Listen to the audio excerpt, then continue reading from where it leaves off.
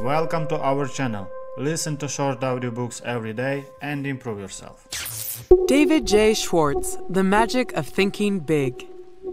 If you believe you can accomplish your goals, others will start supporting and believing you too. Everyone has goals throughout their lives. These range from small tasks like cleaning out the garage before the weekend to life changing achievements like saving $20,000 in 10 years. When you are ready to start working toward your goals, you may wonder how do I even begin? The best approach to overcoming this daunting question is to start by believing in yourself. This means honing a mindset in which you feel 100% capable of doing anything you set your mind to. This works because once you start truly believing you can accomplish something, the mind releases creative power, the mental focus necessary for finding ways to accomplish your goals. The more you believe in yourself, the more creative power is released. This means even the most challenging goals, like becoming vice president for your company, become feasible as long as your level of belief matches the task's difficulty. Believing in yourself also creates another great advantage. Other people start believing in you too. This is what a study by the McKinsey Foundation for Management Research found. They interviewed business, government, science, and religious leaders to see what types of people they preferred to work with. And their most desired trait in a candidate? A sheer desire to get ahead, a trait which is contingent on how much a person believes in him or herself. This desire or belief is what societal leaders associate with success. It's what keeps individuals motivated, regardless of any hurdles they encounter. This is a perfect quality in a candidate because it means they won't give up. By simply believing you can succeed, your mental power will shift to help you get the job done. And as a byproduct, you'll create a support system by inspiring others to place confidence in you. Instead of memorizing facts, do what successful people do and sharpen your creative thinking skills. You might be familiar with the term knowledge is power, which means that the more we know, the more we can do. This saying fails to distinguish between the two types of knowledge fact memorization and creative thinking. With fact memorization, you learn pieces of information and store them in the brain to be recalled later. But many of these remembered facts end up like old boxes in a garage. You only access them when you need what's inside. Creative thinking, on the other hand, is focused on finding innovative solutions. This means crafting new, improved approaches for handling any kind of problem or challenge. Although memorizing facts is important in its own right, creative thinking gives us the ability to quickly and efficiently overcome any hurdles we encounter. Fact memorization makes our brains rigid. Creative thinking makes our brains adaptive and flexible. This means that successful people always focus on improving their creative thinking rather than merely trying to remember facts. You can boost creative thinking with these three actions. Be receptive to new ideas. Take as many opportunities as possible to try new things. And devote 10 minutes each morning to reflecting on the question How can I do a better job today? One way you can help promote these three actions is by diversifying your lifestyle. For example, make sure you spend time with people who support you, yet also challenge your beliefs and ideas openly. Or join a community group in an area outside your occupation. If you are a car salesman, for example, you may find it interesting to join something as far removed from your line of work as a graphic design club. This will bring new skills and, who knows, maybe allow you to eventually start designing advertisements for your company.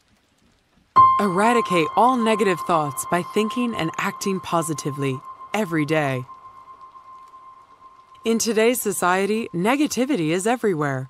From murders reported by the news to advertisements that try to make us feel fat or ugly. But it's not only the media being negative, even the people closest to us often spew, you can't make it, so don't even try propaganda.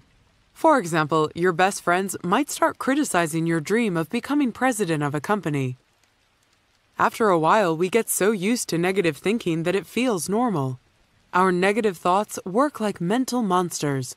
The more we let them into our psyche, the stronger they become, until they completely overpower our positive thinking.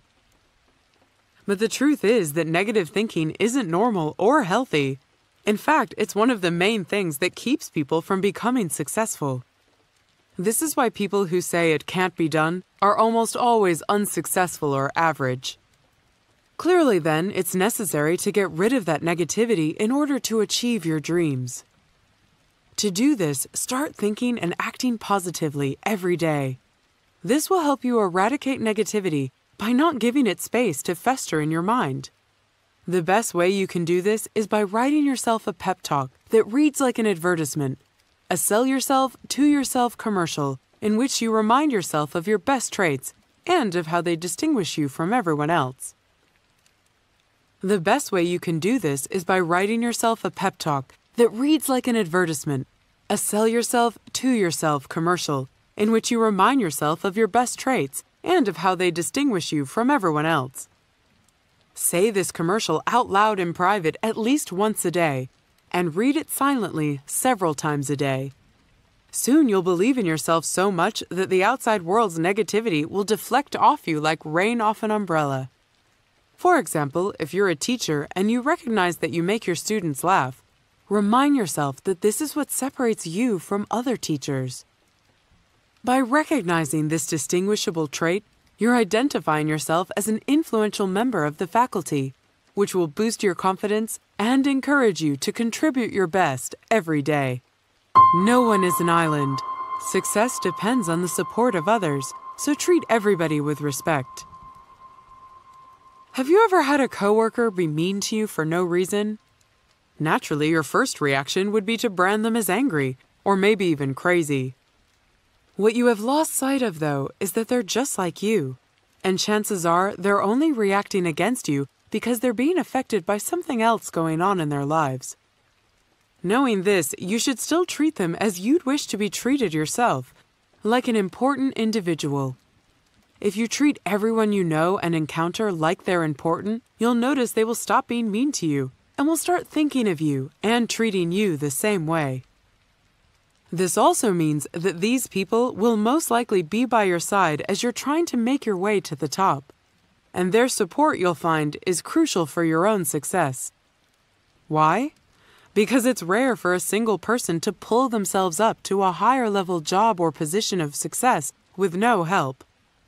More commonly, you'll be lifted by your equals and subordinates, the people around you.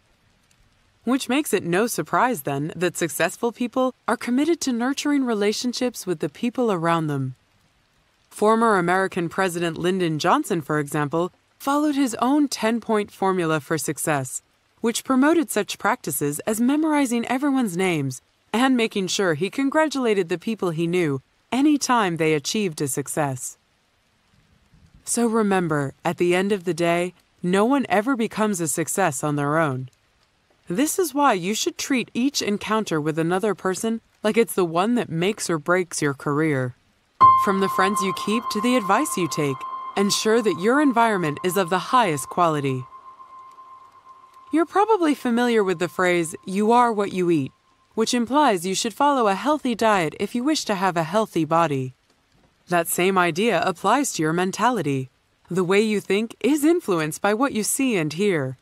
Your living space, your friends, what you read, all of these act as mind food and are instrumental in influencing your thought process. For example, prolonged association with people who gossip will make you more likely to gossip. Conversely, prolonged association with people who only speak positively of others will cause you to do the same. Make no mistake, you are affected by the company you keep. Therefore, in order to become successful, do what successful people do create a high quality environment for yourself. Do this by making sure that your home, study area, work area, social circle, and leisure time are all of the highest quality, meaning that they encourage you to grow as a person. One way you can do this is by surrounding yourself with other successful people and studying them. When you have questions or are searching for advice, be sure to ask only those who are successful and are where you want to be in life. After all, the highest quality professionals always give the highest quality advice. Also, be sure to surround yourself with the highest quality of friends. Those who not only have their own ambitions, but also believe in your ambitions and believe you're capable of achieving them. Having this support system behind you will keep you motivated along the long, sometimes daunting path to success. In the end, if you want to be successful and accomplish your dreams, make sure you're living in an environment that supports these goals. Watch your attitude. It's speaking for you even when you don't open your mouth. Sometimes, when you're speaking with a friend or significant other, you can tell when they're feeling uncomfortable or down, even if they choose not to talk about it. This is because our attitudes and outlook on life are always clear to others. How are we so good at detecting this? Because for millions of years, our evolutionary ancestors had no language. Communication depended on understanding body and facial expressions, not words and sentences. We can read attitudes because in the past, this ability helped keep our ancestors alive. Attitudes are mirrors of the mind, and a person with a bad attitude will receive a different reaction from a person with a positive attitude. Therefore, if you want to get the best outcome from encounters with others, you need to adopt an attitude that brims with positivity. One way to keep a positive attitude is to make sure you're doing what you believe is morally right. When people do things they don't feel good about, like lying to a significant other or taking from a friend without asking, it harbors guilt and erodes confidence. These negativities always show up in a bad attitude. Being happy and comfortable with your decisions, on the other hand, builds more confidence and therefore sustains your better moods. In a completely different vein, another way to stoke a positive attitude is to look your best. When you dress well, it makes you feel important, and it makes others think you're important. Try to do this all the time, even outside fancy occasions. But most importantly, nothing provides a positive attitude like believing that what you're doing in life is important and worthwhile. This will naturally become a perpetual source for confidence and leave you little reason to ever feel doubt toward yourself. Destroy fear, the number one enemy of success, by building confidence. The advice, fear is all in your head, is often given to help people overcome their hesitancy toward entering situations they're uncertain about.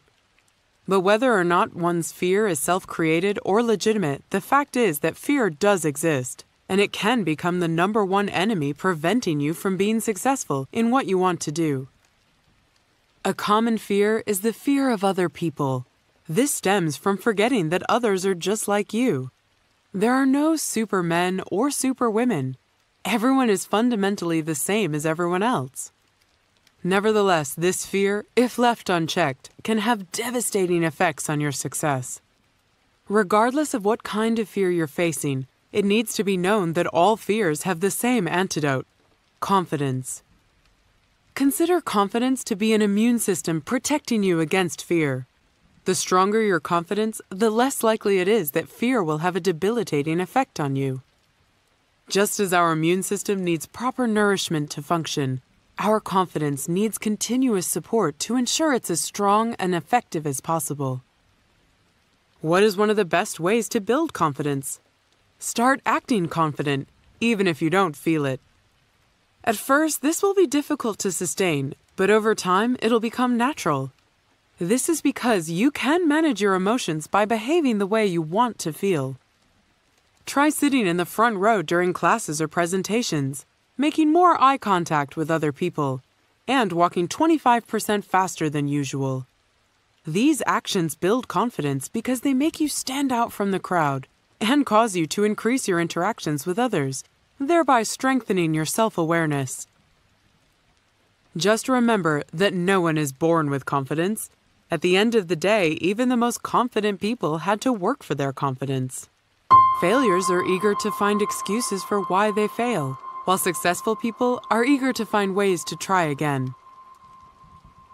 Everyone has their own unique take on the classic statement that there are two kinds of people in the world Two types of people we can all generally identify with, though, are failures and successful people. Those who have failed to actualize their potential, and those who have made themselves a success in their career or lifestyle. What is it, though, about successful people that keeps them from drifting over into the failure category? It's their ability to bounce back after setbacks. While failures are busy finding excuses for why they failed, successful people are dusting themselves off and looking for another way to try. At the end of the day, every successful person has encountered the same opposition, discouragement, setbacks, and personal misfortunes as failures. But the way they choose to handle these challenges make them the leaders of the pack. For an example of how successful people get creative, consider the following tale. A young couple wanted to buy a house, but found out they were unable to afford the down payments. While many people would have taken this as a sign to give up or make excuses for themselves, this couple decided to think creatively. The husband contacted the house's builder and asked for a private loan to cover the initial payment.